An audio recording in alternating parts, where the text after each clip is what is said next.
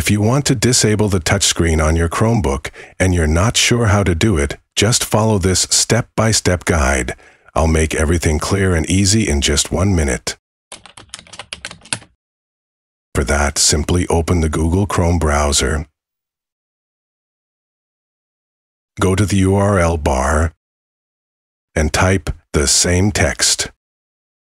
You can also find it in the description. Here, simply search for Debugging Keyboard. Simply enable it. Then click on Restart.